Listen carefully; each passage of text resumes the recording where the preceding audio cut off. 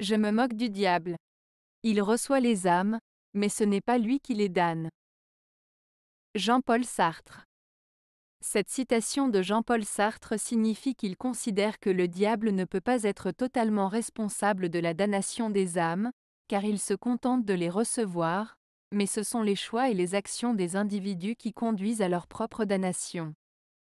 En d'autres termes, Sartre rejette l'idée d'un diable tout-puissant qui serait responsable de notre destinée éternelle.